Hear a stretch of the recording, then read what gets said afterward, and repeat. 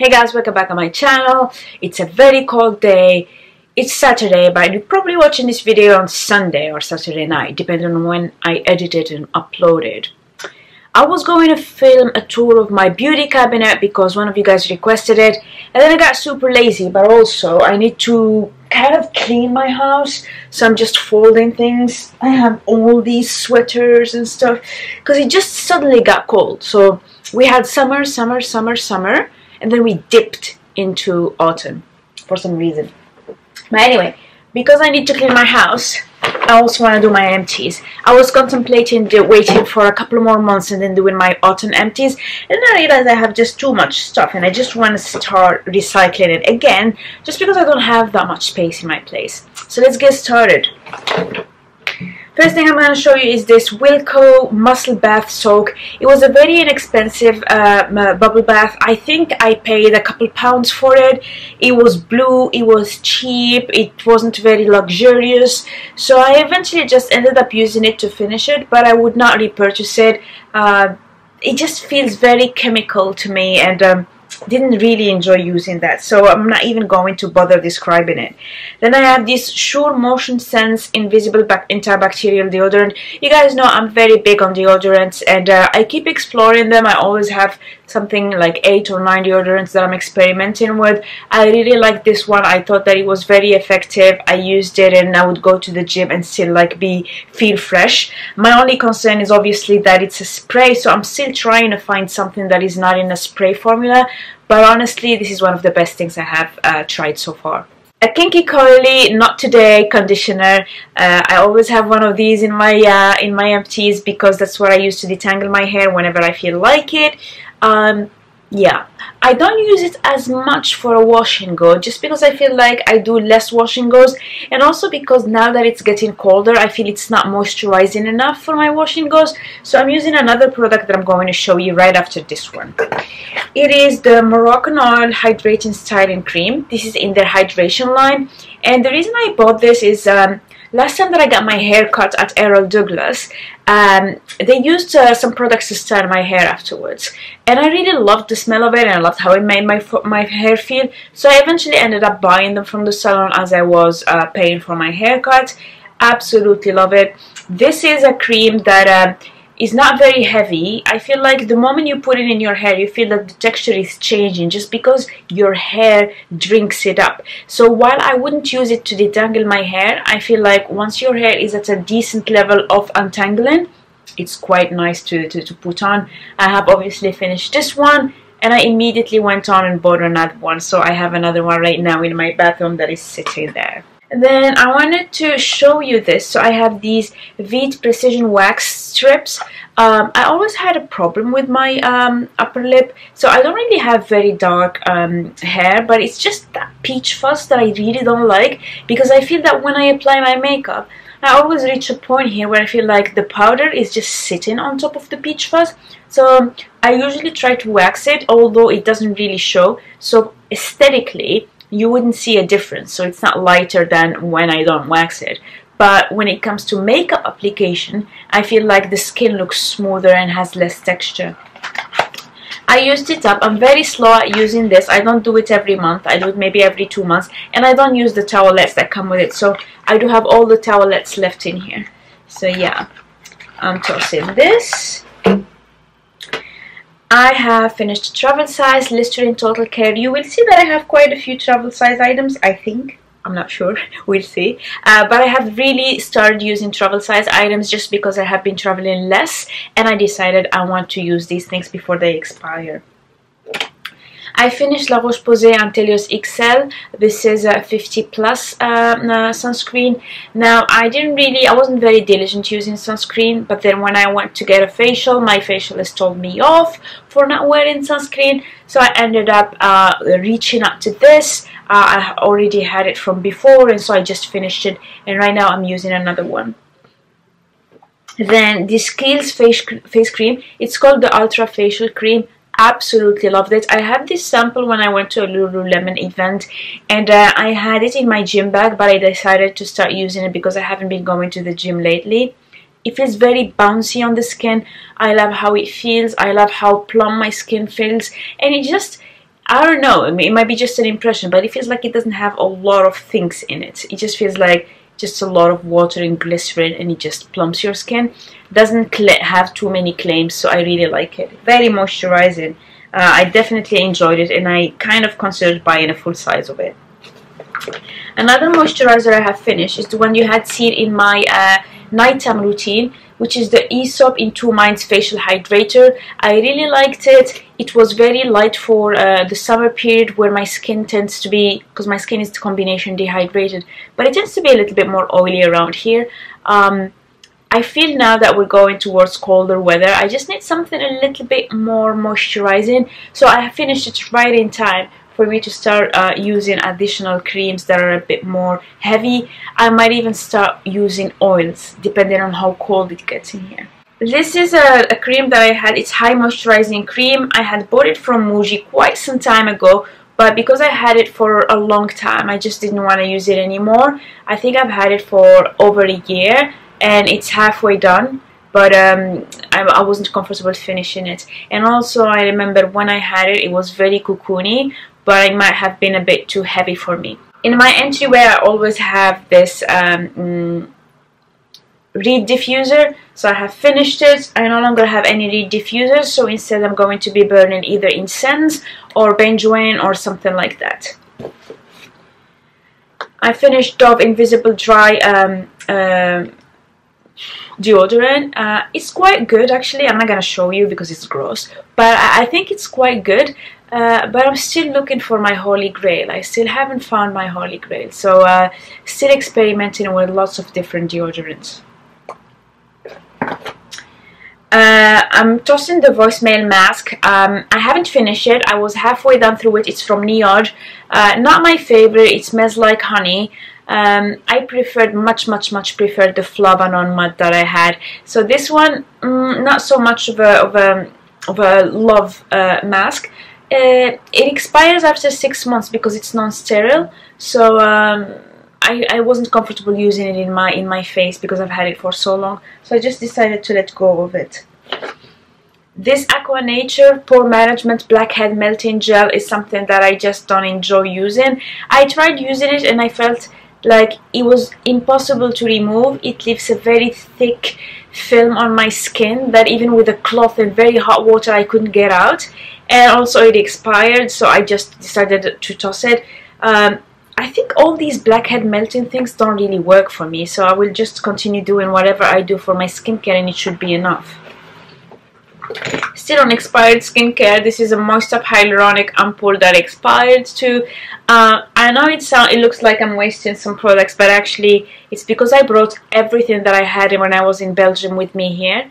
And um, it recently after my sister moved out, I started reorganizing my apartment, and it's almost like I am rediscovering my apartment. I'm rearranging a lot of things, and that's how I became a bit more ruthless about assessing what I have. Because before I just wanted everything to fit, and now I'm just thinking, am I going to use it or not? Is it expired? Is it still serving its purpose? Um, this is a de Mamiel, uh, they have a botanic line.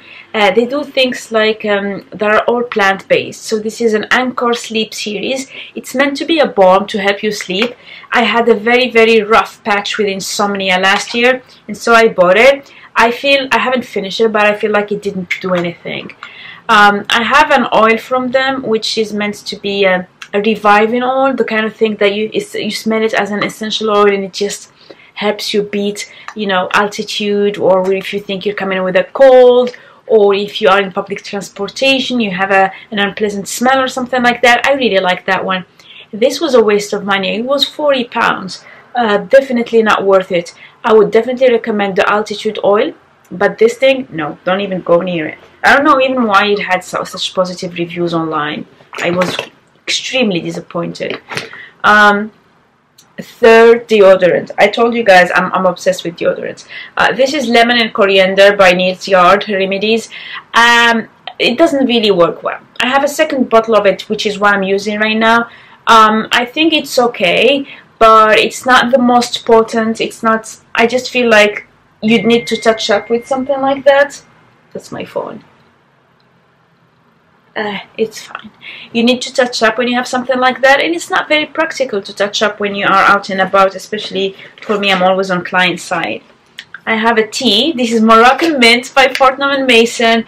I have finally, finally found um, a tea that I really enjoy, so I'm going to buy the full box of it. Typically, whenever I go and try a new tea, I'm, because I'm very picky, I, I prefer to just buy a small sachet, and then I try it, and if I really like it, then I will buy the big box, and then I continue to refill. Um, but I really like the mint tea. I have this Talika Bubble Mask Bio Detox. It's one of those charcoal masks. Again, because I'm going through my bathroom, I'm just using up the things that I have. And um, I used it, but I've never really liked these charcoal masks. I do have quite a few of these, but I get them in boxes, like Look Fantastic and things like that. But I would never go and buy one myself. I don't think so. Um, this Nip and Fab Glycolic Fix Daily Cleansing Pad it's um, I think I have a couple more, but it's completely dried up. Um, I have some pads from Dr. Uh, Lens. His brand name is Zelens. But I still think I don't want to start using any acids on my face. I'm going to wait really until winter and then I'm going to do that. Just because I don't want to shock my skin. We're barely out of summer. And I'm tossing this Nivea Nivea Original Care. I had bought it because um, I I think I, I was somewhere, my lips were super dry, I had absolutely nothing and so I bought it. I tried to make it work and then I realized that just my taste in um, or my criteria for a lip balm are much much higher than just a Nivea. So I ended up tossing it because I just couldn't make it work. My favorite thing is this. It's Caudalie Soin des Lèvres, which I have. I have this one here on my makeup station. I have one in my bag. I have one in my gym bag. Absolutely love it. The best. Simply the best. Everything else that remains is makeup. So first thing is this nail polish by Color Show. I loved it, loved it, loved it. I've had it for years. It's a bright yellow. I think if I finish five or six nail polishes, I might go and buy a yellow polish. But for now, I'm just, I mean, this is completely dried out. So it's gone. The color name was Electric Yellow.